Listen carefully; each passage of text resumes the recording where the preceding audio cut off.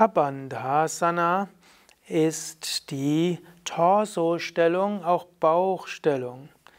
Kabanda ist die Name der Bezeichnung für den Torso, für den Bauch und wie auch den Rumpf. Kabanda ist auch die Bezeichnung von einigen Himmelswesen.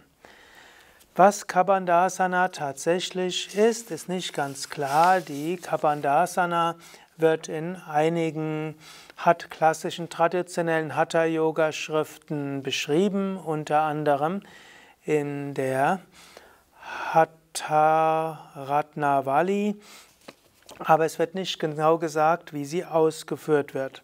Von der Tradition her ist Kabandhasana auch die Bezeichnung für verschiedene Bauchdrehungen. Und Judith zeigt zwei davon. Ausgangsposition ist der Langsitz. Im Langsitz hebe die Beine etwas hoch, so 30 Grad oberhalb vom Boden und gib dann beide Hände nach links, sodass eine Drehung im Rumpf ist. Halte das ein paar Atemzüge, danach kannst du es auf die andere Seite üben. Dann kann Kabandhasana auch die Bezeichnung sein für das Drehkrokodil.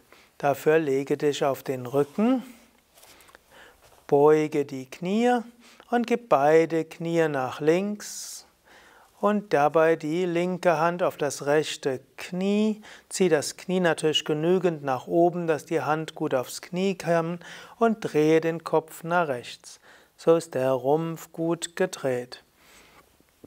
Auch andere Übungen können als Kabandhasana bezeichnet werden wie auch manchmal die Stellung, wo du im Hocken die Füße aufstellst und den Kopf auf die Knie gibst und die Unterarme hinter dem Rücken faltest.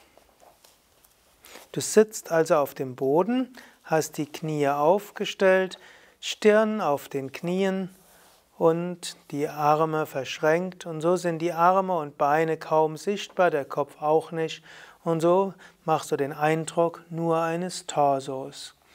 Da sind einige Variationen, die als Kabandasana bezeichnet werden. Was der ursprüngliche Hatha-Yoga-Text darunter verstanden hat, wissen wir heute leider nicht.